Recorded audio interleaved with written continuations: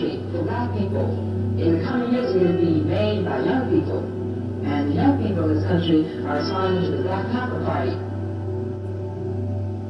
This is that's going to have to be dealt with.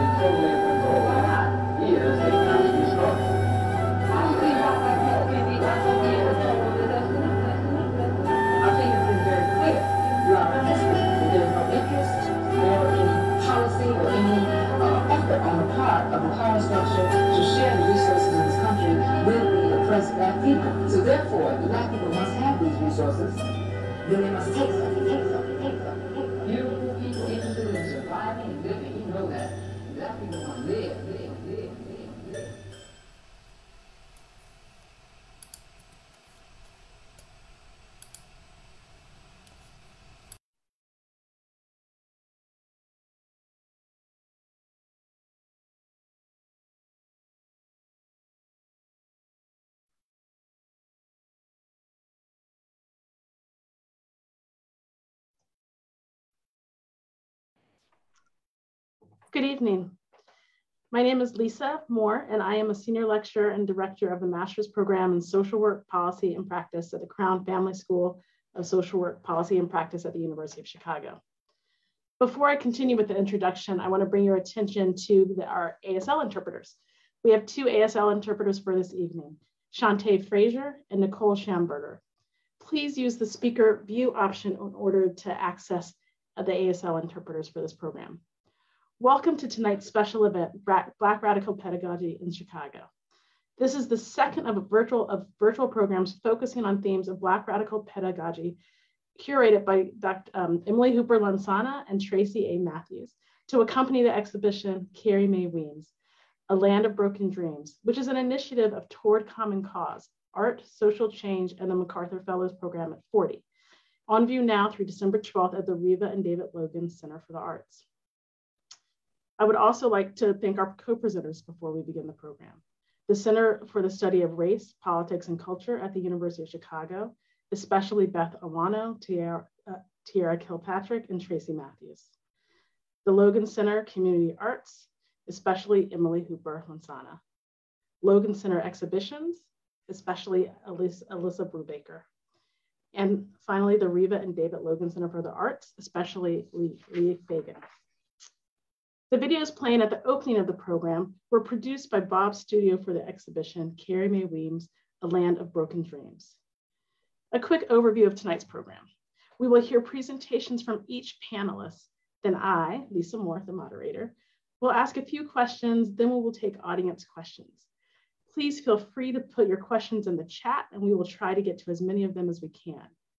Please note that tonight's meeting will be recorded. I'm now going to read the bios of our esteemed panelists. Um, I'm going to do it very briefly so that way we can get to the content. If you would like to review their full bios, you can review them on the program page for this evening's event.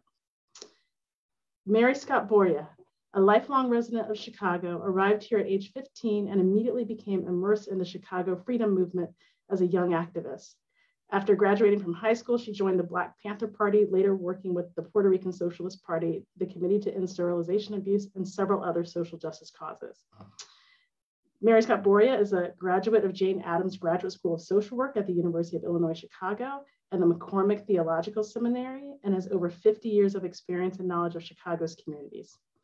Most recently, she directed the Urban Studies program at the Associated Colleges of the Midwest, where undergraduate students from across the US and abroad spend summers learning about social justice issues in urban, urban communities.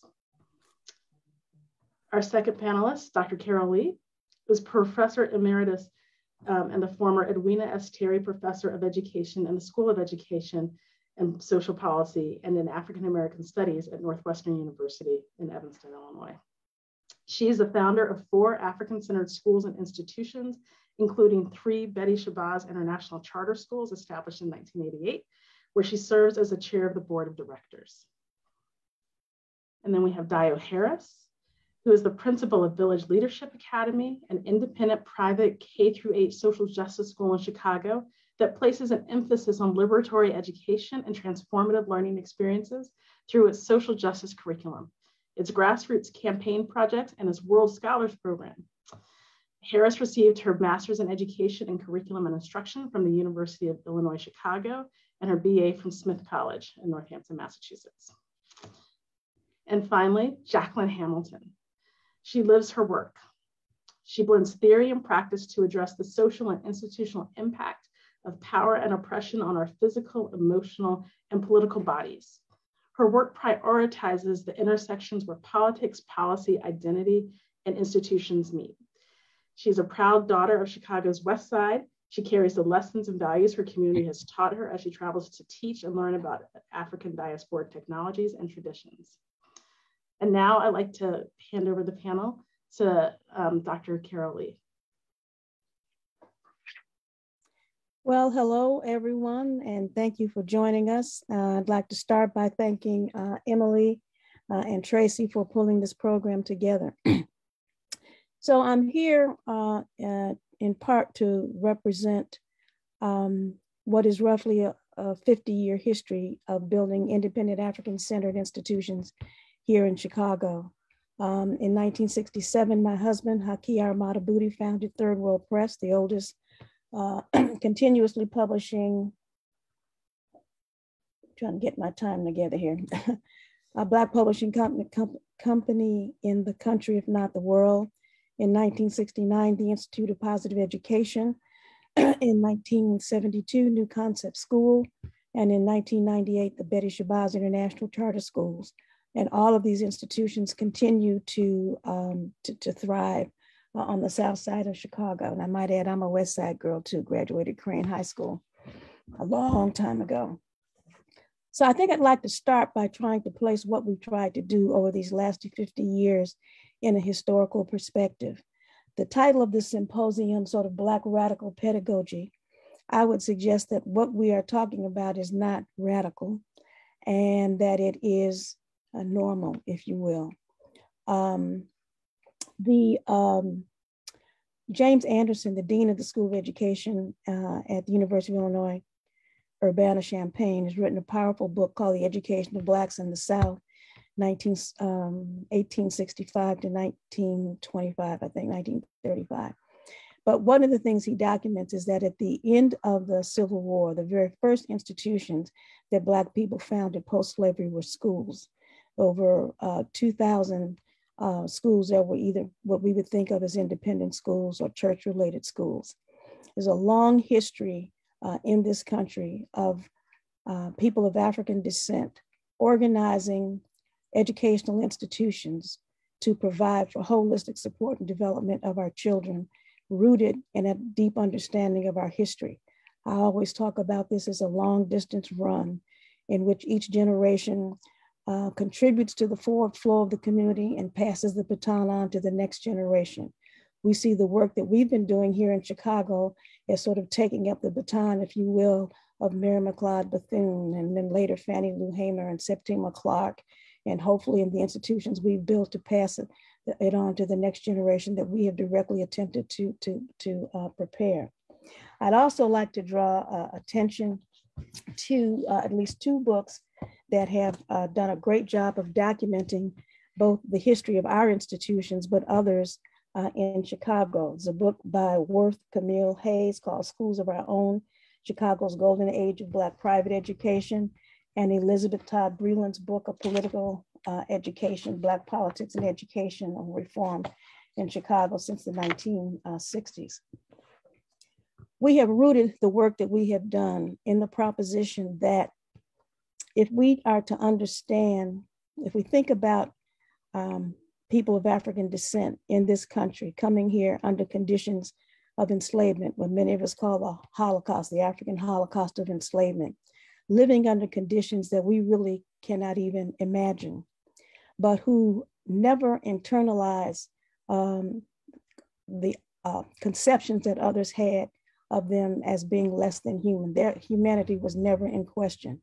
Many of you may know that the um, uh, that the burial that uh, Wall Street in New York was originally an African burial ground. In the 16, 1700s, and Africans um, buried their dead in in Wall Street. The Schomburg Center for Black Culture back in the 90s worked very hard. Our daughter was involved in that work to get this uh, uh, area recognized as sacred ground. And they built a powerful monument. Um, among the things that they did was to work with archaeologists from Howard University to unearth um, remains. They found people in very ill health, which one could expect, but they also found that people, people were buried with amulets, with markings on the body and in positions that said, I'm Yoruba, I'm Akan, I'm Igbo with an expectation that we would find their bodies and recognize that they understood. So we've seen in the work that we've done over the last 50 years the importance of helping each new generation to understand that history with the understanding that whatever they knew and believed and the kinds of relationships that they built and support that they built internally that allowed them to get up each day, put one foot in front of the next, involves knowledge and belief systems that uh, need to be passed on across generations. We in our schools, New Concept School, which is an early childhood program uh, in operation since 1972, the Betty Shabazz International Charter Schools uh, in operation since 1998. We serve over 600 children a day in grades uh, uh, uh, K through 8. Focus on the holistic development of our children to develop a strong sense of identity, uh, as persons of African uh, descent and as, uh, as individuals, and understanding of the importance of ethical and moral development.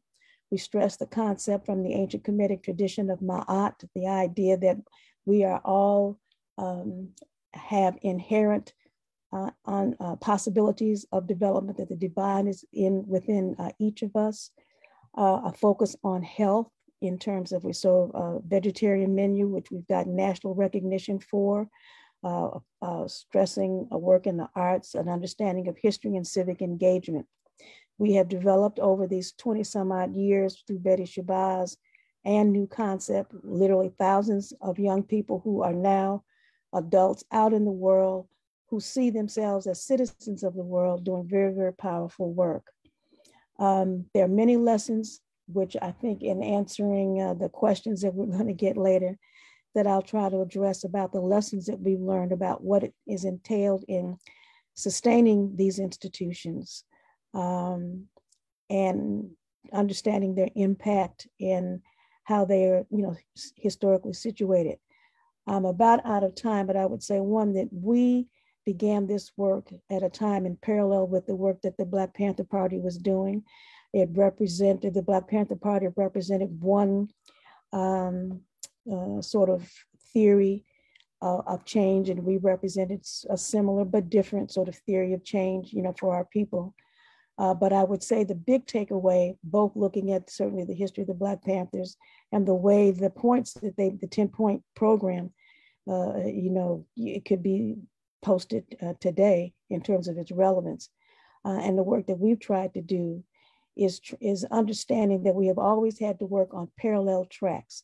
We work both internally within our community to build our own institutions to support our children and to support the needs that we have, while simultaneously we work externally to, to um, help to transform the nation to be able to live up to its uh, intended original goals. So with that, thank you, and I look forward to discussion further.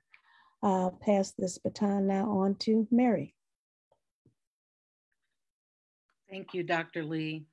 I just have to say that as a young woman, I used to travel to the South Side to the Institute of Positive Education. And learned a whole lot from one of your institutions. I'm really glad to be here, but I'm a little nervous to be on a panel with such giants um, and in the room with the Zoom audience. Um, but I'm very appreciative of the space.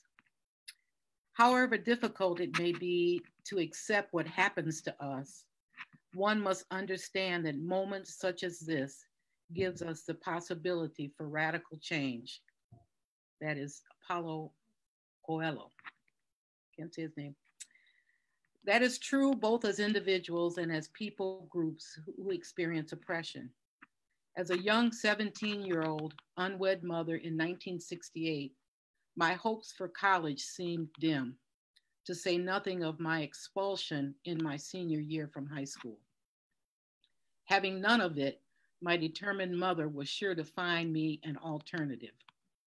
Lucky for me, it was the first year of the school for pregnant teenagers on the west side of Chicago. My mother was a fighter, having brought us to Chicago on the heels of Emmett Till's murder. Visiting Emmett's family in, in the community of Argo Summit, just to the southwest of us. Though she herself was quite a silent warrior, little did I know then how those little acts of fire in her would fuel my own life to this day. Though university was out of the picture at that time, college was not. And that trajectory shaped the way I saw the world, engaged my spirit, and has influenced me ever since. I ended up at Crane Junior College on the west side of Chicago. Dr. Lee, I think this is a west side panel. I ended up at Crane Junior College on the west side of Chicago at the exact right time, 1968, that radical change was happening. And little did I realize that, religiously speaking, the waters would part my very first semester there. I was a very studious young woman. Sorry. I was a very studious young woman, but dare to say, um, I didn't think I was going to get an education like I did. Crane Junior College was Chicago's first junior college in the city, but dare to say it was perhaps its most neglected of the schools in the city's network. It was unclear how many students were at Crane in 1968, but if our accommodations were any indication, we were small in number and limited in educational resources or respect for that matter. We were working class kids from the poor west side of Chicago. The student lounge on the second floor pretty much fit the student body, and for the most part, we were kept in that corner of the whole school, of the school of Crane High School. We were housed in, in the high school but it proved to be the place where the seeds of our Black radical imagination began to flourish. Quite a host of characters found home in that found a home in that lounge, from Morris Wright, from Maurice White, and others who would soon become Earth, Wind, and Fire, to Fred Hampton, the newly minted leader of the Illinois chapter of the Black Panther Party, and others. I don't believe Chairman Fred was a student there, as, but he visited several of the colleges. But his, his influence at Crane fermented a Black Power movement that changed the terrain of activism in the city. I could not have been in a better place. I don't think any university or college could match the experience I had at Crane. Black Panthers, sorry, I keep losing my finger here.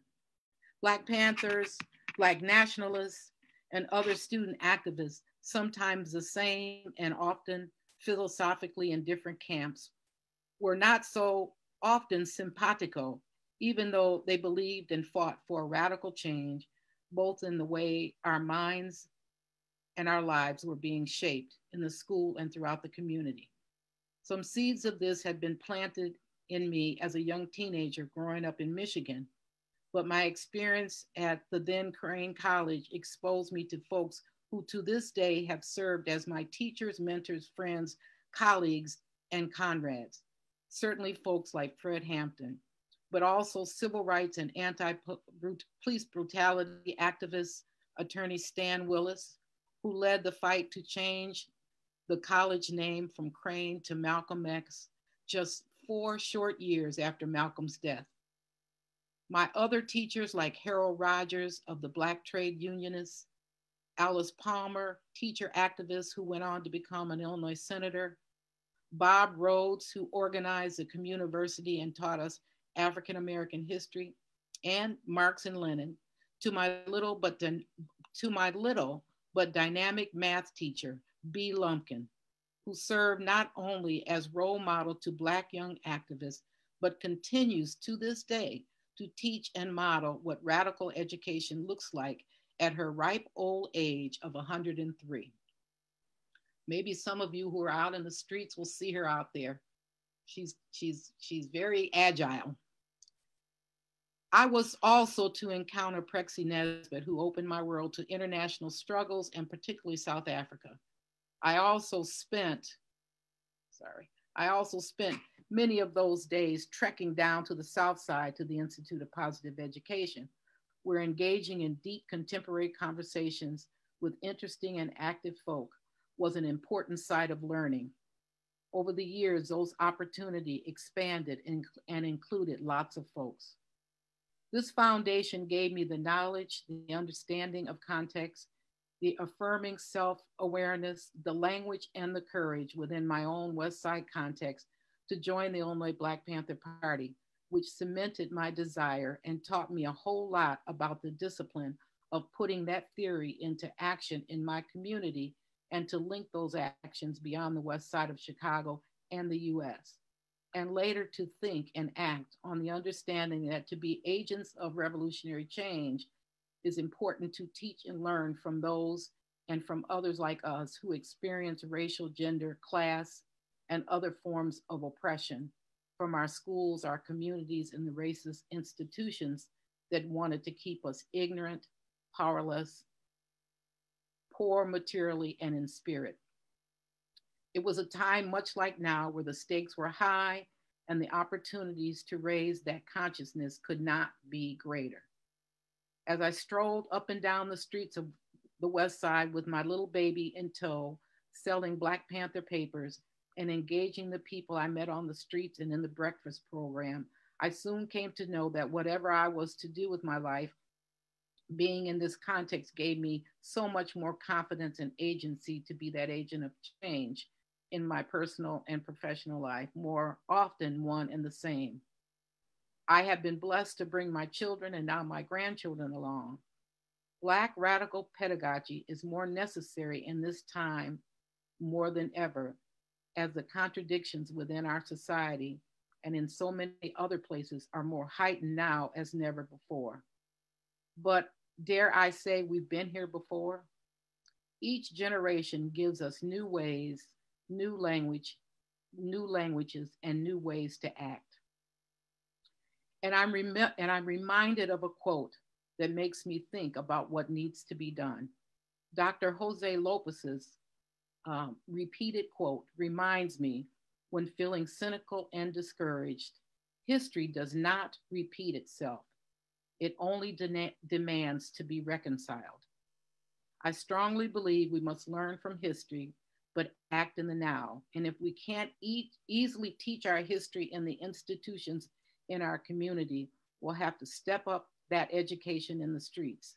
I'd say we have to equip wherever we land our feet and broaden that circle of friends, allies, and converts in each generation. Thank you. Uh, I am going to pass this on to Jacqulyn.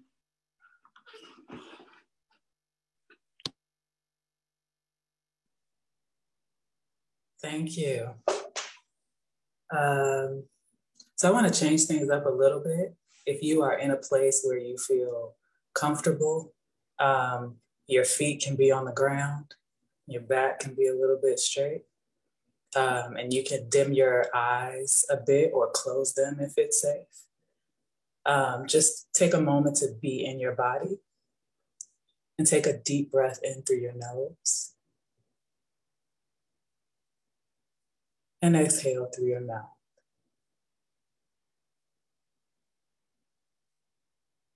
Another breath in through your nose. And exhale through your mouth. And one more deep breath in.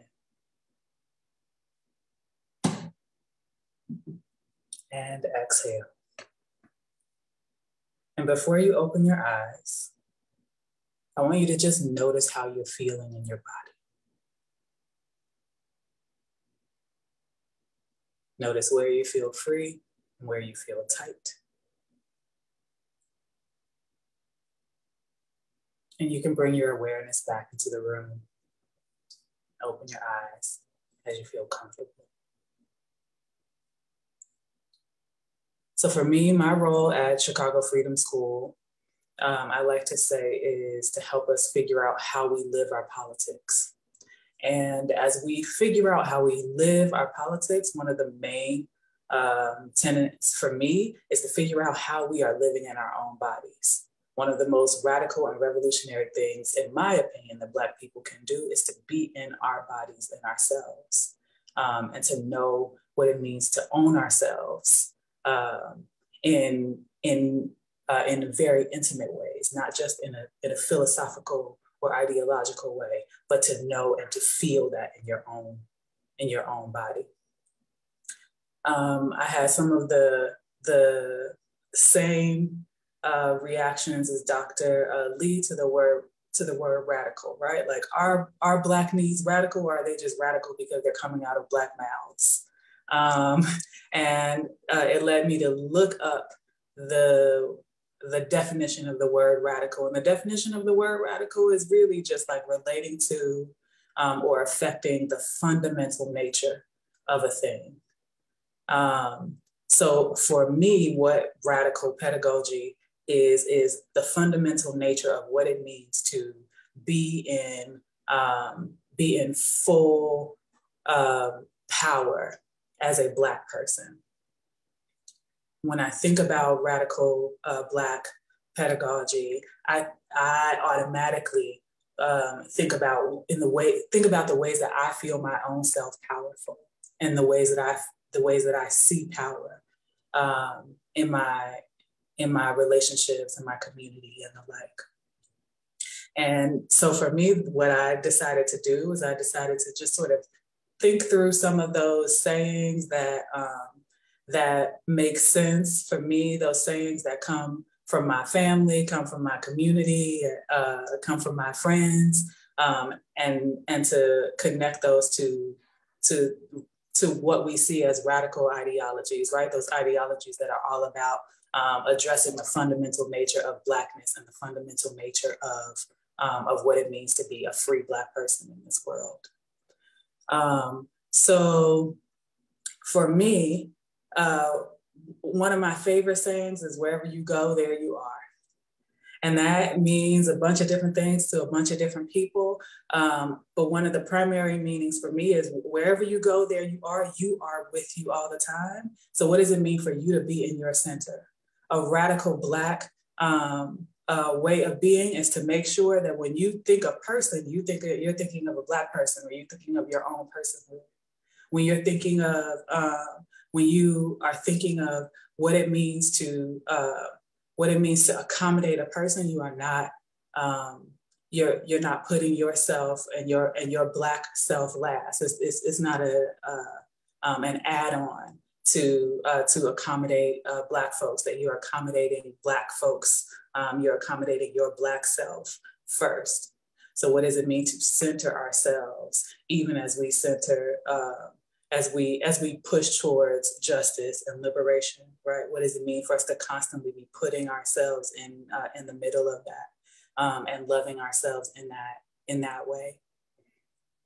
Um, also, wherever you go, uh, there you are. It's also a con- for me a connection between um, other Black folks because wherever I go, I'm also seeing myself and other Black people all over um, all over the world. I see myself in Black folks uh, in in the way that we um, in the way that we are with one another, in the ways um, in the ways that we think, in the ways that we move, in the ways that we talk. Um, so wherever I am, I know um, I know that there is uh, that there is a connection between me and other Black people who are there um, as well. And that sometimes is a, is a connection that is it is not something that is easy to articulate, but it's also one of those things that you can that you can feel when you are when you are present in your own body in your own self. Um, um, every future got a past is another one of my favorite ones, right? So at CFS, we are rooted in um, the Mississippi Freedom School, uh, Mississippi Freedom Summer, right, and the freedom schools of uh, of, uh, of of the Freedom uh, Summer movement, right? So for um, for our work, a lot of it is remembering that in order for us to move forward, in order for us to to have sort of radical Black futures, we are building those radical Black futures based on um, based on radical Black pasts and based on the radical Black present. So every future um, requires us to know, to honor, to build on, um, to sharpen what has already happened. So we're using all pieces uh, of, of our experience here. Um, and I would say the last, uh, the last piece, I'm looking at my time right now. um, uh, the, the last piece is making sure that um,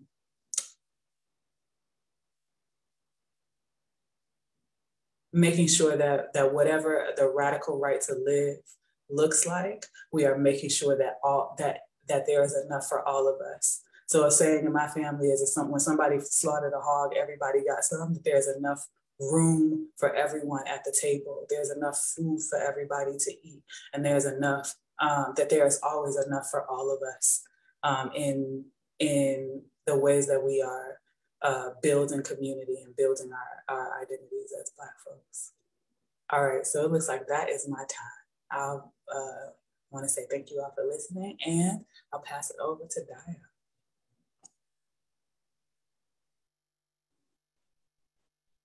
All right, um, good evening, everyone. Um, first, I would like to thank uh, Emily and Tracy uh, for the invitation to participate uh, in this on this uh, esteemed panel this evening.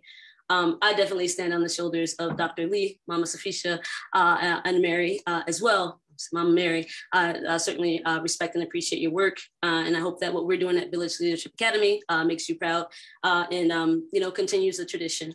Um, so we've been asked to think about uh, Black radical pedagogy and how it relates to our work in Chicago. And so um, I am the principal of Village Leadership Academy. Uh, we are an independent, uh, private uh, K through eighth social justice school. Uh, and so um, I've been grappling with this question uh, for the last week and a half. And um, most recently, um, I had the opportunity to um, uh, to it was a webinar. I attended a webinar that Dr. Jarvis R. Givens uh, presented on his new book called uh, Fugitive Pedagogy Carter G. Woodson and the Art of Black Teaching, right? Um, and in, in his talk, he spoke a lot about insurgent intellectual networks. He talked about uh, fugitive pedagogy, right? Uh, he uh, discussed Black intellectual traditions or Black radical intellectual traditions, right? Uh, and that, as, as Dr. Lee mentioned earlier, this is not new for us, right? That after uh, emancipation, one of the first things that we did as community was build schools, right? And so um, I'm also paying attention to what our panelists have said this evening about whether uh, what we're doing is radical or not. Um, and I have mixed feelings around that. Um, I agree in that, and there are points where I disagree, and hopefully we'll be able to talk about that a little bit later. Um, so I've been thinking about what I learned uh, from that webinar, from that discussion. Uh, and then uh, today, as I was doing some additional preparation, um, I came across a, a quote uh, from James from, from James Baldwin. It says, um, education, or he said, education is a synonym for indoctrination if you are white, and subjugation if you are black. And so his quote uh, and thinking about Dr. Givens' work, work as well, and what we do here at VLA. Um, I have a lot of questions, right? Um, I think we do, um, well, I'll get to my questions later. Basically, we hold the position, right? We all know that education is not neutral, um, uh, that the process of schooling um, is or has historically been um, concerned with uh, basically uh, legitimizing uh, and reproducing uh, dominant cultural norms, right? Uh, we also start with the premise here at VLA uh, with our students that um, we do live and operate under um, a white supremacy.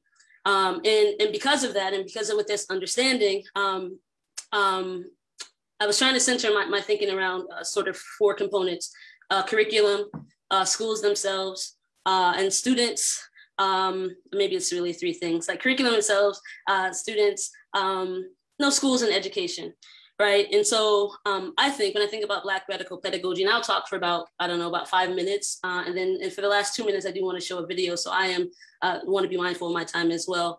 Um, if we start with the premise that we are living and operating under white supremacy, uh, then curriculum does become radical, right? Depending on what you're teaching, right? Curriculum is a form of cultural politics. Um, and for us, we want our curriculum um, uh, to, to, be culturally um, empowering and affirming.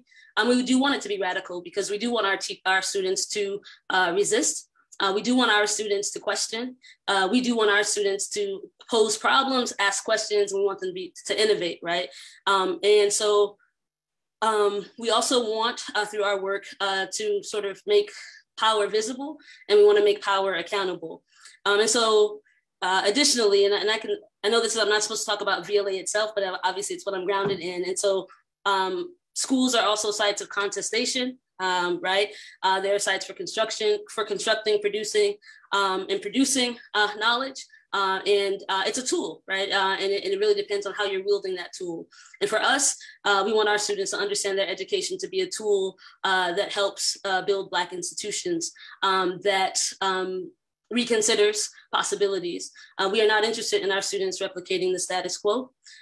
we are interested in creating spaces um, where um, we are working collaboratively alongside our students, uh, where their voices emerge, um, um where they help um, also inform us about radical possibilities uh, for change and for struggle. Of course, we're a school, so of course we're teaching, you know, literacy, math, and writing, and all of those things, and we teach those things a great level ahead. But what's really essential and important for us uh, is something that we call our grassroots campaigns, and that's GRC. And it's through this that we want our students to be thinking very critically about social justice issues that they are experiencing uh, and encountering in their communities. And they spend an entire year uh, researching the root cause of those issues, um, identifying influential forces. So they're learning about power structures, right? Um, they're looking to see if there are organizations uh, or individuals who are working on those problems, but ultimately they develop uh, their own action plan and implement it. Because we are an independent school, we, we do have a lot of autonomy with our curriculum uh, and who we invite into our space. Um, the space is really important, right? And so we have worked with Chicago Freedom School. we worked with BYP 100. We worked with the Assata's Daughters. Uh, we worked with so many of the um, organizing communities uh, in the city and invited them into our space uh, to um, uh, to invite them to help us um, in this project that, that, we're doing here, here at VLA. Um, Mary said earlier she's nervous, so am I. So I feel like if she admitted that I can do the same. Um, and so um, when I'm thinking about Black radical pedagogy, I mean, honestly, for me, um, I want our students to shake things up. I want our students to have radical imaginations. I want them, we want them to understand that they are um, change agents now. It's not when you get to college and you take a cultural studies class. It's now, right? Um, it's dismantling or understanding or them being knowing that they are able to dismantle systems of oppression. Um, it's us helping to give them language to it because our students, although we're K through eighth grade, they are experiencing so much, right? And the world is happening to them. Um, and we want um, them to understand that they can also happen to the world, that there's still space and time and so much work to do um, uh, for, for, all of us. And um, we want to we want them to know that we stand beside them, uh, in front of them when necessary, and behind them. And so, um, to me, that work is radical because of the particular time and place that we're that we're currently living in, um, and hopefully one day um, you know, when uh, if, if our progeny, if they're, if they're, you know, they don't have to kind of have these same conversations. Um, because as Dr. Lee said, we've been having these conversations and building these institutions for, for quite some time. For quite some time, um, I started my clock a little bit late, so I think I am going to pause there, and um, I'm certainly interested in, in, having the conversation and discussion a little bit later. But the video that I do want to show you all, um, because it's also about critical praxis for us, so we can talk about theory and we can do all the cultural empowerment, right, empowering that we want to do here, and give uh, rise to student voice. Um, but we also actually want to take that extra step uh, and, and uh, uh, commit to action. And so the video that you're going to see uh, is uh, just two minutes, uh, just the first two minutes and eight seconds um, of students um, when we reclaimed MLK Day. So we did have a, um, we organized in March, our students organized in March from one of our former campus sites to the Juvenile Temporary Detention Center to sort of highlight the school to prison pipeline and to you know, take a stand against it from a youth perspective, right? And so um, I will stop there. Uh, thank you again for listening. And then um, I believe it's Alyssa. You can just uh, roll the video.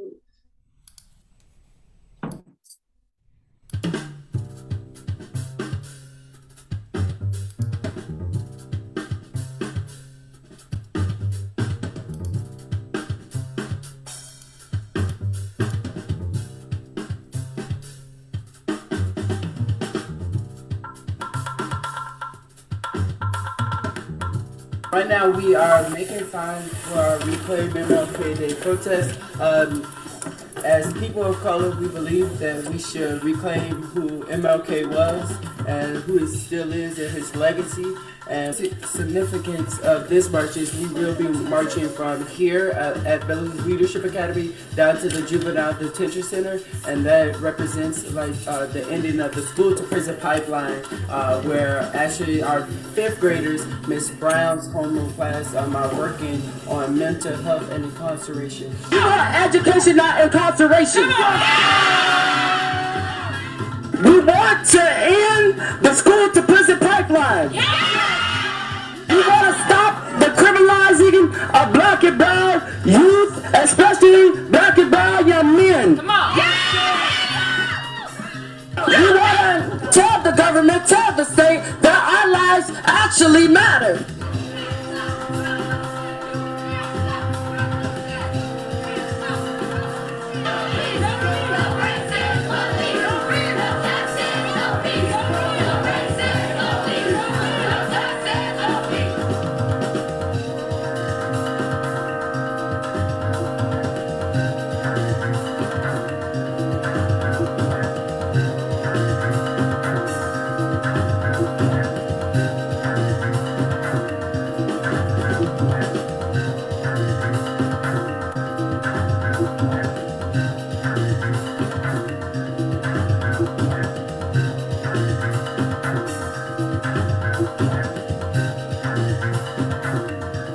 Something that MLK.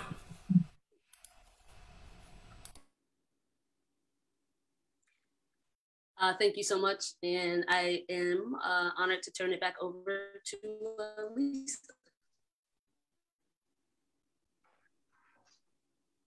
Thank you so much. I learned so much from each of you, and I look forward to continuing to learn um, as we engage in some discussion now.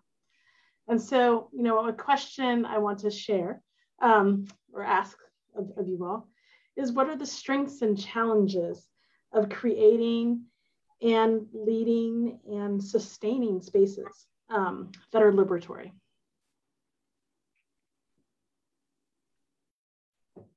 Well, we have been doing this for 50 years, so I think there are a few lessons that we have learned.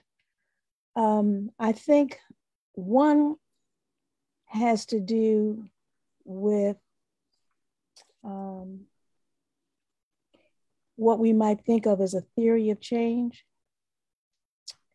Uh, and that is to say, what mechanisms do we think have to be in place in order to enhance the life opportunities, in our case, of people of African descent, which has a ripple effect.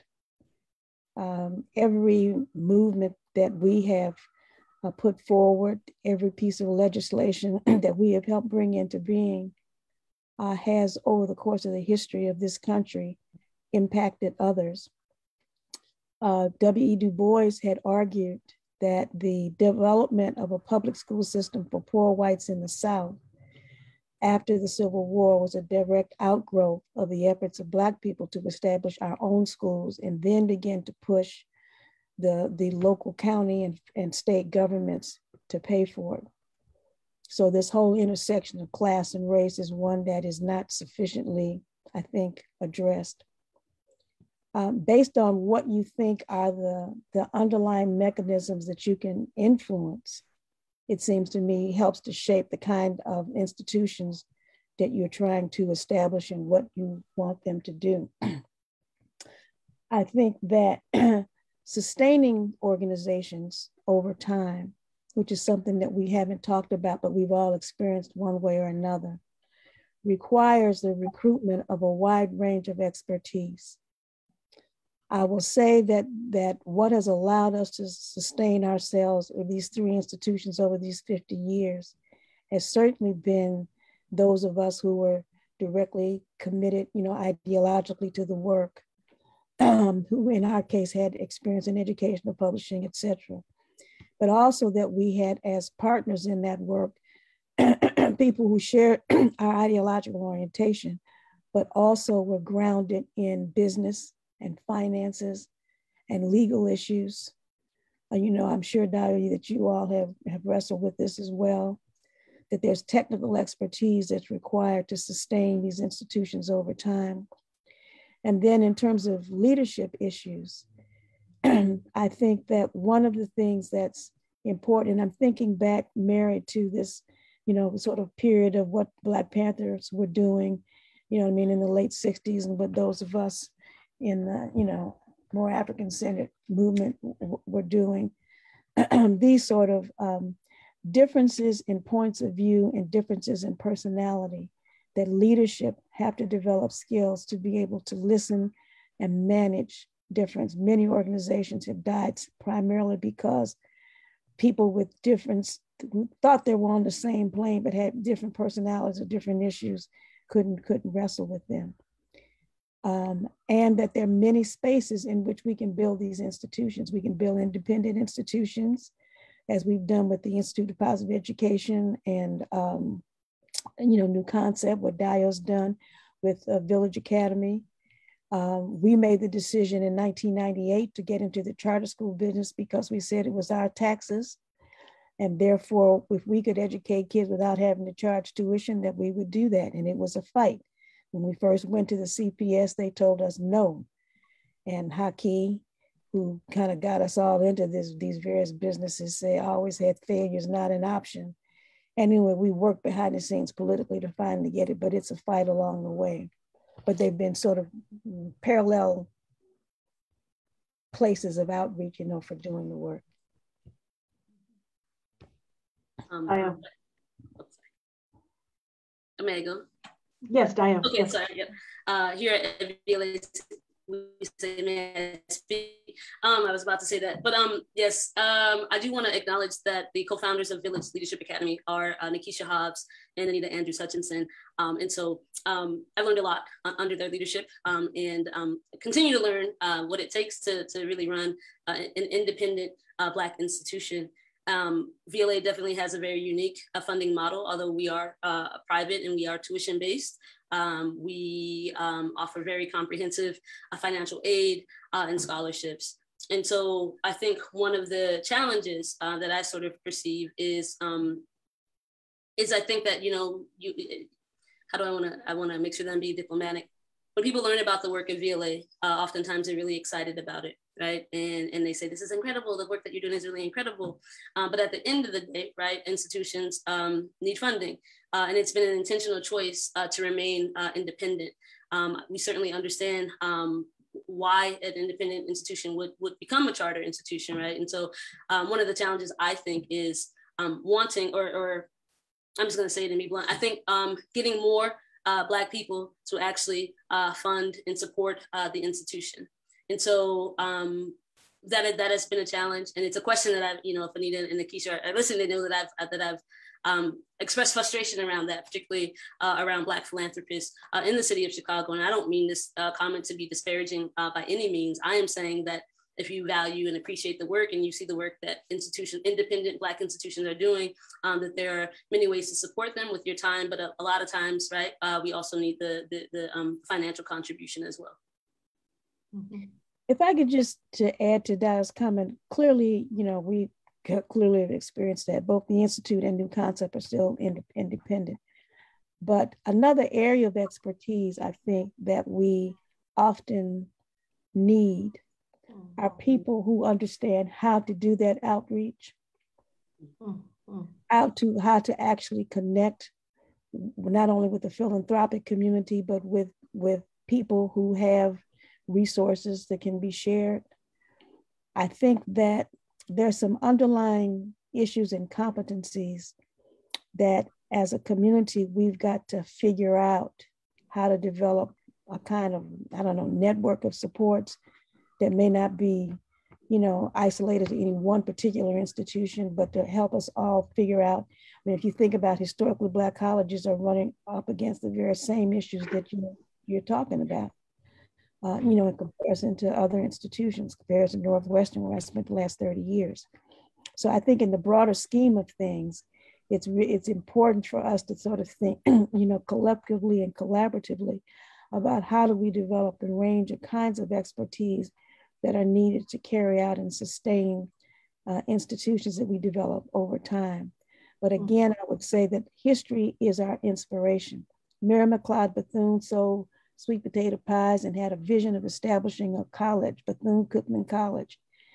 Mm-hmm. I mean, you can go back entirely through our, our history to see the ways in which we have been highly successful in developing institutions to sustain ourselves as a people.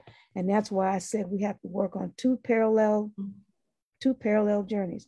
You think about the Black Panther and Mary, the 10 point movement. One aspect of that is what do we do for help?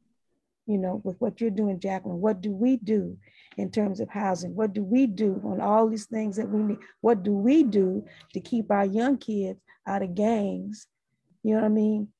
How do how do how do we recruit them where the gangs can't, kind of thing, on the one hand, and at a parallel fashion, completely to be organized in terms of making the state at all its levels um, uh, do what it's supposed to do for people. Mm-hmm, mm-hmm. Just want to add can't on. Keep dependent on it. Yep. So it was like Mary and then Jacqulyn. Okay, sorry. I just want to add on to sort of that piece around history because I think um, I, am a I'm a great fan of Dr. Carol Anderson um, from I think she's at Emory now. Um, in her book, she in her book White Rage, um, she takes us back to the uh, time around the Civil War, and then brings us up to our current moment, and we see how our movements, our our, our advances get sabotaged and so I think to learn, and I think uh, Dr. Lee uh, talked about to learn from history, um, we've got a, a, wealth of history to learn from, but we also need to learn how our movements have been destroyed and to sort of really pay attention to the ways in which we are we are our own saboteurs or, or the ways in which the uh, society at large uh, sabotages us um, you know, I, I'm, I'm reminded of the Brown versus Board of Education. And after Brown versus Board of Education, even though, you know, it was an amazing uh, change in society, more African American teachers lost their jobs after Brown versus Board of Education than had been teachers before. And so we, we have to pay attention and we have to pay very close attention um, to how society shifts and what policies shift us, um, and then what's in our best interest, and really uh, look at when you say, so we're not radical or we're not revolutionary, we get slapped back often because we're not paying attention um, to those those to that backlash. Mm-hmm. Jacqulyn? I, would like to just add something that's going to complicate the conversation. And I know there are a lot of people who may or may not agree with me.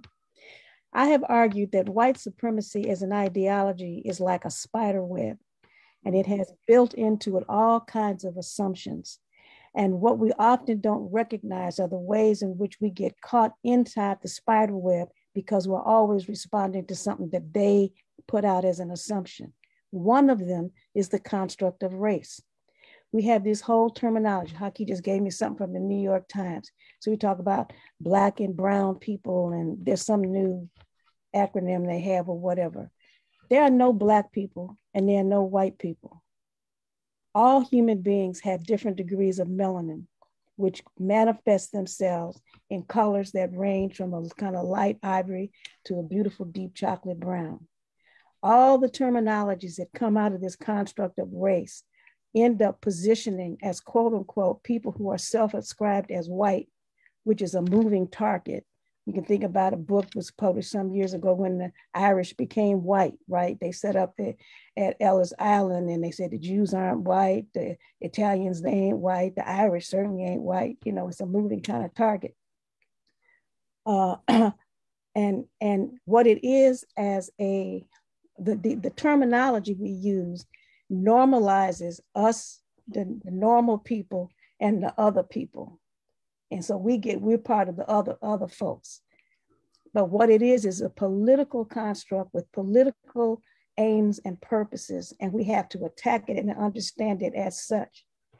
On the other hand, in terms of what we've been trying to do in terms of African centered folks and everybody here, is understanding ethnicity, right?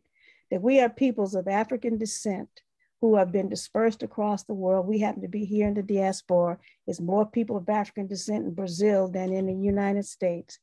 And through that, we have inherited a set of practices and belief systems and nature of social relationships, you know, extended family, respect for elders, and the like, that have sustained our community over time. And the construct of race doesn't bring that in. The construct of race says you started in 1619, you know what I mean, as, as an enslaved person. So we have to have a philosophical, just getting at the challenges going from the 20, maybe that's your next question. Mm-hmm. From my perspective, to be truly liberated, we have to pull ourselves from the philosophical assumptions of this ideology of white supremacy and fight it as a political system but not one that has to do with our identity, that has to do with who we are and how we sustain ourselves, you know what I mean, as families and how we develop our children. Mm-hmm. Jacqulyn, you're trying to get in? Yes, I have a, a, lot to say and ask about what was just offered, but I want to go to what, so initially what I was uh, going to uh, talk about in terms of like challenges of uh, around uh, organizations is, is just sustainability, right? A lot of what we have been thinking about and working on uh, uh, is thinking about how does this, um, how do we build institutions that are not built on the, on the specific people who are there? It is not just that it is um, that is rooted and grounded in radical and liberatory theory because um, because this person is there and, and if they should leave or need to leave, um, then everything falls apart. So, what is sustainability and long term um, sustainability look like and feel like? And how do you build an institution that um, that is both protective of um, of these radical ideologies, but is also uh, uh, flexible enough to grow into uh, into an even more radical um, understanding uh, of, of what the world is and what's needed um, for a particular moment. Mm-hmm. Um, but yes, um, I was going to say that, but I want to move into the conversation that we that, that we just had it. Mm-hmm, mm-hmm. Yeah, even though I sent you all a list of questions right now, it just sort of there because this is so rich, right? And thinking about the significance of history and the different ways in which Black people in this country have created their own realities, whether it's Gullah folks in, in, in the South or the Black towns we had, all those different spaces. We have a history of creating our own societies and ways of being, even here in the United States, that sometimes get overlooked. And so, this question of sustainability educationally is really important to consider and it does tie in around sort of like you know how how has organizing evolved um, between the 20th and 21st century? And and also you know as educators and activists for, for you all you know i think all these different ideas that are being shared are really important to think about well what what's continuing to happen? What's continuing to evolve? Um, what does the future look like? And so um, again we can move on to this next question. We can also continue here. I know our time is rapidly passing too. Um, so, so yes. I think we've certainly broadened our context. I mean, I, I think our lens gets bigger and bigger and bigger. And I think that's a challenge. I think that's a, that's, you know, we have to broaden, we have to broaden our context. We have to win friends and influence people, right? Mm. Um, and I think that those challenges mean that there are various ways, as Dr. Lee pointed out, there are various ways in which we look at these uh, as we look at the world and we look at the challenges in the world. And so we have to be patient enough with each other, but also challenge, I think, enough, uh, challenge ourselves enough to understand that we have to grow um, to survive. And, and and and that we need to figure out how to do that in a way that doesn't um, submerge our issues um, and so you know i think um, you know, I think about we're, we're going to have a question about technology, so I don't want to get too much in that. But I love Zoom because that means I get to participate in many more things than I would if I had to go to everything. But I think we have to figure out how to, um, you know, how to touch the masses. And I think we have to take our messages outside of our spaces, outside of our institutions. And institutions can be um, bearers of that knowledge and of that frame of those frameworks. Um, but we got to figure out how do we touch, you know, the brothers and the sisters on the corner in our neighborhoods who are connected to these institutions, who actually feel that these institutions work against them sometimes. Um, and so I think as we broaden our context, we have to also figure out how to engage and embrace an, an ever growing population that feels sort of disenfranchised um, from all of mm-hmm. these from all of this thinking, I guess. Mm-hmm, mm-hmm. So it looked like Jacqulyn was um, next, and then Dr. Lee, and and we have two questions from um, from people who are watching. So Jacqulyn. Um, I think um, when we think about how organizing has uh, has evolved, I think we go back to um, to Mary's uh, earlier offering, which is learning about the ways uh, the ways that um, the forces that uh, that um, form themselves uh, against us against us. So oppressive uh, forces are becoming more sophisticated. So learning about um, about what um, what has historically happened, but also keeping a lens on the um, keeping a lens on the ways that um, that these organizations and institutions um, that you know that mean us harm are uh, are also working because they tend to have more money, they got more people, they got mm-hmm. more free time, right? If we go to you know go to Dr. Lee's um, uh, spider web, it reminds me of, uh, mm-hmm. the Toni Morrison quote that talks about like the, the thing that sort of keeps us rooted and, um, and keeps us stuck is um, we're constantly having to fight off all of these, uh, all of these um, attacks on our personhood. So it keeps us distracted and it keeps us from doing our work. So, um, so in thinking about how organizing um, has changed. Organizing changes because it requires even more of our uh, even more of our our resources and our attention because it is because it's hitting us from more um, from more angles. Mm-hmm. Mm-hmm. Dr. Lee?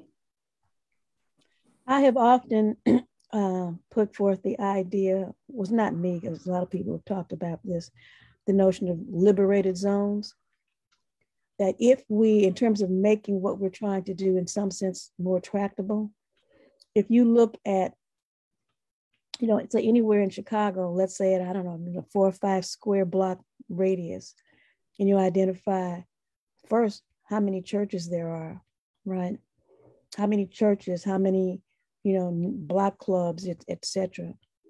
And if within those spaces which I think actually needs to come from the leadership of the church because there's more Black churches than any other institution in this country in Black community. And say, within this four square block radius, this is our liberated zone, right? And we are, we, we control it. We, we make sure that there are hands and mentors for every young person in that neighborhood if the gangs are going to do something, they got to go through us first, right? If the police are coming in, they got to go through us first. It, it's it's tractable, it's it's doable. It sort of brings you know communities uh, together, um, and I, I, I think that it's uh, an, an important way to you know uh, to move. On this technology end, I would say that there's an aspect of technology that has always been at work, if you will, I can remember um, I was 10 years old when Emmett Till was, was killed, and it was his picture in Jet Magazine, a technology, if you will, that brought home, you know, what had happened to this young man. and you, you know, flash forward to seeing uh, George Floyd being murdered, you know what I mean, on, on the video. Um, and I think that there are ways in which digital media in particular today offers such uh, powerful promises for how we can sort of communicate and connect both within our communities around the nation and for that matter, around the world. If you look at the impact of Black Lives Movement and the international uptake of that has been extraordinarily powerful. And then I would just conclude by saying that part of getting beyond this spider web of this ideology of white supremacy, well, we're using terms like mainstream America and mainstream values and all that. There is virtually no aspect of American history or broad scale cultural practices that now have not been influenced by people of African descent. Mm-hmm. So the notion that that you know we got to be included and pull us in and all that that's part of that little spider web set of assumption because it's not true. Mm-hmm. I was in Malaysia some years ago. It happened to be during Christmas season. Going in this hotel, they're playing black music, right? So part of it too is understanding our power, understanding our power in terms of voting. If we came out in every entity where we live and if you had 80 to 90% of Black people that you could predict were going to come out and vote, uh, there would be some listening to us.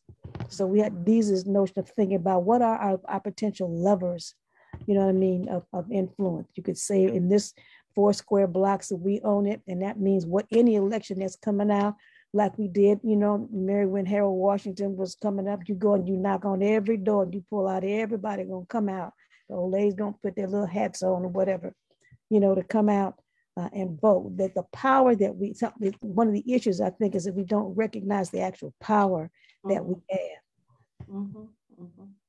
And if we didn't have power, none of us would be here. Our ancestors imagined us, right? And we must imagine the next few generations that come. And through the institutions that we build, we prepare them. When I look at the literally thousands of people over these 50 years who've come out of our schools, they are mm-hmm. extraordinary human beings. They see themselves as citizens of the world. The idea of Black inferiority is an absurd notion. They don't wrestle with it and have to beat their chest. That ain't even a question. Why would I get all tied up about that? Whoever thinks that got a problem, I need to help them out, right? Mm-hmm. They're building businesses, they're out there in the world. Um, and and we all have the capacity you know what i mean to do that mm-hmm. Mm-hmm. Yeah. I love the. Uh, I would love to have Dayo speak about their Frederick Douglass campaign um, because I think that was where young people uh, showed that they had power in a, in a you know in a, in a in an amazing way. I used to live across the street from Douglass Park, so I just feel so um, you know delighted when I drive through there now and know what these young people have done. Mm-hmm.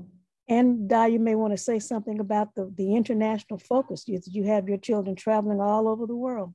Mm-hmm. Mm-hmm. I'm sure. Thank you so much. I, I can do both. Thank you. Um, um, so yeah, there's a little, I'll start with the World Scholars Program. Um, so we do, we want our students to understand that they are part of a larger diaspora right? And that it is important uh, for us to be uh, in solidarity with marginalized communities all over the world. And so, um, you know, as a school, we've had, I think it's 10 successful trips. Um, I've been on some, not all of them. They're not vacations by any means. Um, and so the school and, and, our students, we've traveled to uh, Brazil, uh, Mexico, South Africa, uh, the Democratic Republic of Congo, uh, Ghana, Haiti, Costa Rica, Guatemala, Cuba, uh, Dominican Republic, and I may be forgetting a few, so forgive me. Um, but it's it goes back to what Dr. Lee was saying. Um, we do there's and, and, maybe it was Jacqulyn actually. Um, we want our students to know that there's really nowhere that you can go in the world where you're not going to encounter yourself, where you're not going to see Black people, uh, where you're not you know where you can travel anywhere and make those connections. That maybe some of the issues that we are experiencing on the west side of Chicago know we have the West Siders here, um, right? That, that maybe there's some similarities to what's happening in Soweto. and we want our students to make those connections now. And again, I want to remind everyone that, you know, our students are, are kindergarten through eighth grade, so they're pretty young. And um, we hope to have the same legacy as the Betty Shabazz, uh, you know, a new concept schools. Um, uh, my, uh, you know, my, my students, my first class, uh, they're now um, sophomores in, in college. And so some of the stuff that you've been talking about, Dr. Lee, we're sort of seeing that with our students too, right? The ones who go on to high school and they're shaking things up in their high schools uh, and, the, and the people that they're becoming. And we are, we are, uh, remain very proud, you know. Um, and then uh, I think Mary did ask me to speak a little bit about the, um, the Change the Name campaign. And so um, as I mentioned earlier, we have something called the grassroots campaigns and really every single homeroom class uh, has to um, uh, develop an action plan and implement it. And the one that you're talking about in particular uh, was a, um, it, it almost took our students like four consecutive years. Uh, and it started out as a question around police brutality. Uh, and it spanned across two teachers, uh, Ms. Jones and Ms. Pagan. And essentially the students were, um, they were uh, being impacted by uh, psychologically impacted right by the images of black death uh, being paraded on, on, on, television and online and in social media. And um, it was important for uh, their teacher miss jones to give them space to speak about how they were being impacted. They wanted to do something around for the people um, uh, who were murdered uh, at the hands of you know police and, and state, state sanctioned state violence. And so um, they started out with really i'm going to really make this very short. They really wanted to honor Rekia boyd who was murdered by an off-duty police officer near Douglas Park. Uh, and through investigation and research and meeting with Alderman Michael Scott Jr., right, um, they discovered, you know, that it's pretty challenging to get a park renamed uh, after a person. And then uh, typically that person has to have had some sort of historical significance, right? And so the idea that they, they wanted to honor Rekia Boyd they renamed the park initially after her. Um, the idea then evolved to say, okay, well, it's already named Douglas, uh, formerly uh, Stephen Douglas, right? Well, who, who can we honor, right? And then, you know, this, they're fifth graders at this time.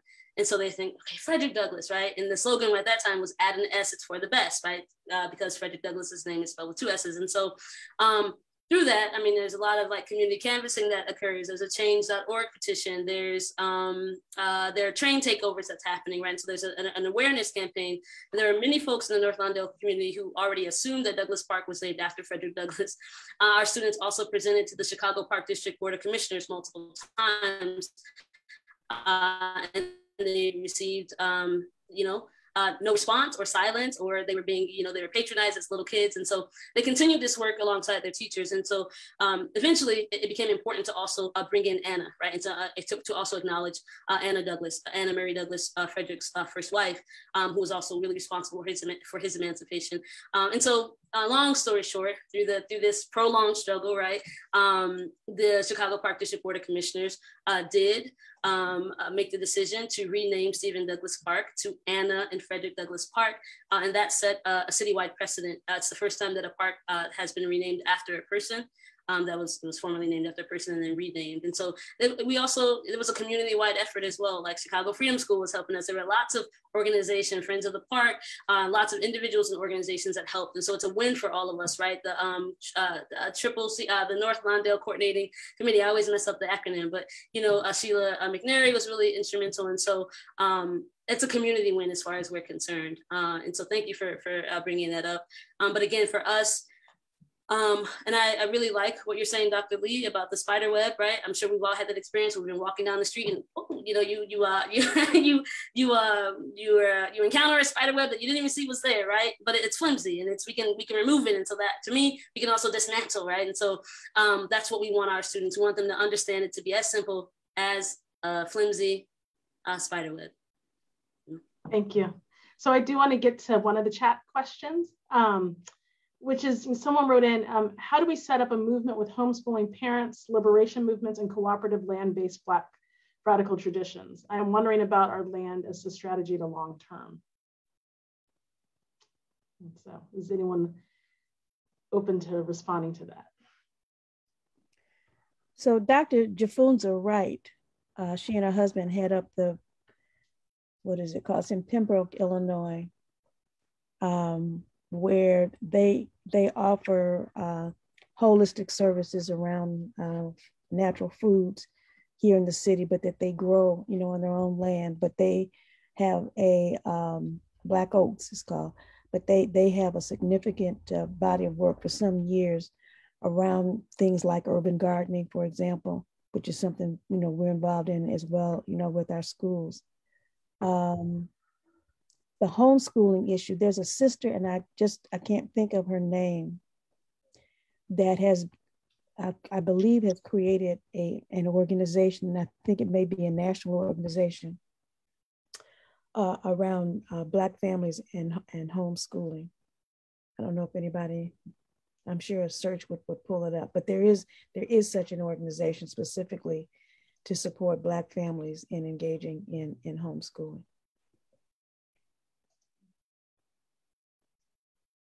You know, it's interesting that during the pandemic or during the height of the pandemic, I heard about um, all of these sort of white communities that set up these learning pods um, in their communities. And, you know, and these are in small communities. And I think, you know, one of the fallouts in the Black community, in particular in Chicago, is what how gentrification has split and separated our communities and our families. So make it makes it really hard sort of to come together um, and to share with each other. But I think that that's kind of an interesting model. And unfortunately, it was uh, available for privileged few people who are able to do that maybe in their own communities. Um, but I've always thought that, you know, our homes could, our homes are definitely places of learning. And why do we have to feel as if um, there's other expertise out there. I mean, I think that it's important to have that expertise, and I honor the schools that are represented here because I think you flow out of this natural sense of the importance of families and the importance of families as educators for their for their children. But we come from families where we can educate. I mean, we used to have these Saturday schools. Uh, you know, we used to have used to have lots of freedom schools. Um, you know, we had places where um, parents could learn how to educate their own children. Um, and so I think I think uh, some interesting models have to take us back to our local levels, take us back into our communities, and really take us back into our homes, and really model the fact that parents are the first educators of their children. That we don't have to give our children over to these institutions who don't love them um, you know, and we know that these big institutions don't love our children. Um, mm-hmm. And so, um, and so, you know, you all, your schools model a certain kind of um, respect and response to the needs, uh, particularly of Black children. Um, and I think that those are models that could be shared um, in our communities and our communities could have the capacity to real in in uh, logan square there's um, a network. It's not a homeschooling network but there's a network of of uh, schools in the logan square, square community where they realized that a lot of the parents that were coming here a lot of the immigrant parents that were coming here from places like mexico um, didn't have uh, language skills didn't have the english language skills um, but and so therefore limited their ability to help their children learn right? And what they decided to do in that community was to open up these parent centers as ways to sort of educate parents who then could be educators for their children. And out of that uh, model grew um, a program called Grow Your Own. And, and Dr. Lee, you might know about the Grow Your Own program, where they're really training mothers and fathers in communities to become educators who can then go back into these institutions or in the homeschooled or wherever mm-hmm. um, and educate their own. And I think, you know, we just, I feel as if we've lost the ability um, to think about schools as our intimate as intimate um, institutions for us. They're kind of far removed, and our kids are going all over the city and um, buses at five o'clock in the morning sometimes. Um, and so, you know, I think that there's the opportunity to create those networks. And your schools, I mean, I'm not going to tell you how to run your schools, but I think your schools are models for for ways in which they can reach out to these communities. Yeah, that grow your own movement actually is a black woman who's one of the major uh, mm-hmm. leaders nationally uh, in in that program, and there's also um, the Harlem Children's Zone as one example of kind of a community deciding this territory is liberated space, and we you know support for pa- for parents, schools, etc., coordinated within that small stretch of land. It's definitely everything that you just said, Mary, is mm-hmm. definitely something that uh, we're attempting to do. So v- VLA is actually part of a larger network of schools called It Takes a Village Family of Schools. Mm-hmm. And so uh, we do offer, you know, uh, holistic services uh, uh, from infant uh, you know, currently all the way to eighth grade into uh, certainly families. And so I do think it's a, you know, it's wraparound services. It's uh, it's uh, it's counseling. Uh, mm-hmm. it is um, early childhood education. It's employment opportunities. And so really being able to respond more immediately to the demands of our community. Uh, that is the goal, um, mm-hmm. and that is what we're that's what we're working towards. Mm-hmm. Jacqulyn. I think also uh, an important piece, if we're thinking about what it means to radicalize uh, or support the radicalization of um, of uh, of children, I think it, particularly in in homeschooling environments, it can be really important to uh, to be doing that in ways that uh, that each lesson is values based. Um, so.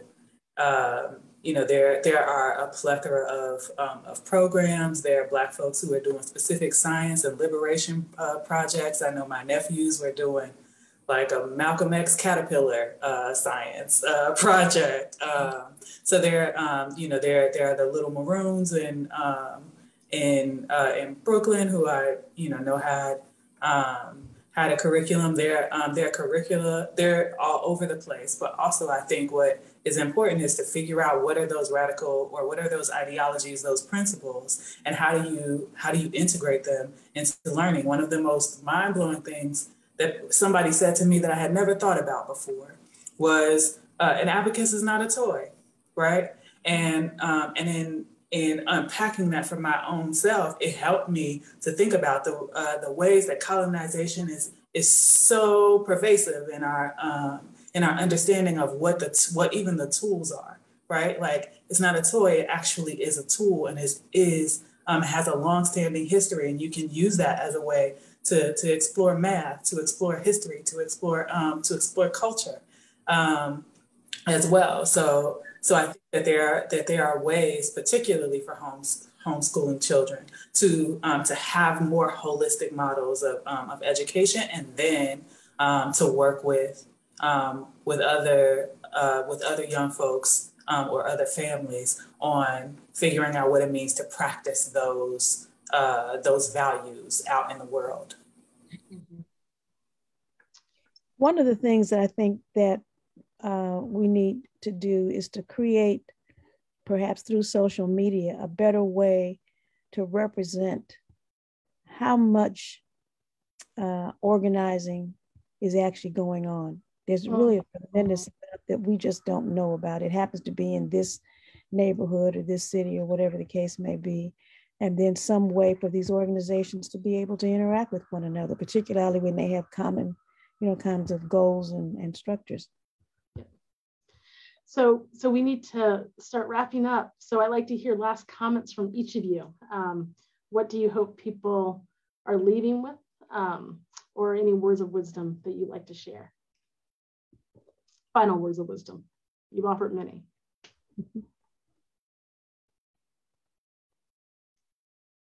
I'll just well, call I, you Yep. I hope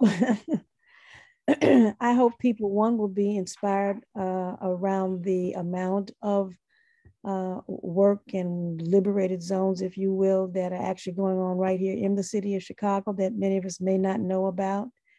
Um, I hope that people will um, um, think and, and sort of, re, you know, read deeply in history to really be inspired and to understand about how much we have accomplished and how we have accomplished it, to really push against this sort of meta narrative that people of African descent and other communities are simply, you know, uh, victims as opposed to, to agents, and to really begin to conceptualize the power of what is possible, you know, for, for us to do.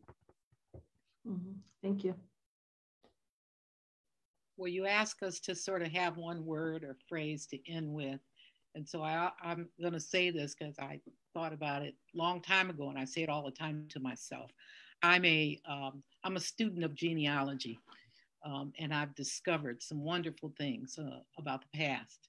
And so I say, you often don't appreciate history until you get one. Mm. And I think it's um, in schools like the two schools, the three schools actually that are represented here uh, that teach young people about themselves. And in learning about themselves, they really do dig deeply into the history of themselves, their families, their communities, and our society. So that would be my final word. Mm. Thank you. Um, so I think what is important about um, about our work and about the way that we uh, move forward is is recognizing that um, recognizing the power in our own um, stories and I uh, and identities, right? So the radical the radical vision for your life actually can come from your specific um, story, right? We can begin to connect um, uh, connect movement and movement making, even in ways that we don't, uh, we may not identify ourselves as folks who are organizers or activists, right? But to be a Black person in the world is a radical act, right? So what does it then mean to um, to then connect to radical movement and radical movement making, right? And to connect um, that uh, to your own action and your own uh, your own possibility and uh, and and the way that you want to move in the world. I find that oftentimes people people feel like they want to do something, but they don't know where to start, right? And we can start with um, with the ways that we actually experience these systems, and it's not just about organizing and being in this. Organizing is not just being in the street with a bullhorn, right? Organizing is the everyday of it, um, and organizing is making sure that uh, that we are doing what we need to do and to make sure that the, the lives that we live um, are lives that are free for us and that are liberatory for us. And we do that by, uh, by connecting ourselves to, um, to our own agency and to the ways that we have survived and resisted and continue to, to, to thrive and build.